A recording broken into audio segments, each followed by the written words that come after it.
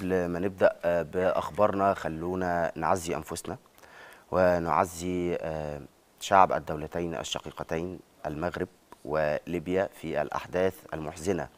آه، يعني زلزال المغرب وإعصار دانيال اللي عبر من اليونان ووصل لليبيا ووصل لمصر كمان بس الحمد لله يعني الأمور في مصر بسيطة لكن في ليبيا كان الأمر مفجع الحقيقة فاطمة. يعني شيء مؤسف جدا يا عمرو الحقيقة ويعني عايزين نقدم خالص التعازي لكل حبايبنا وأشقائنا سواء في المغرب أو ليبيا.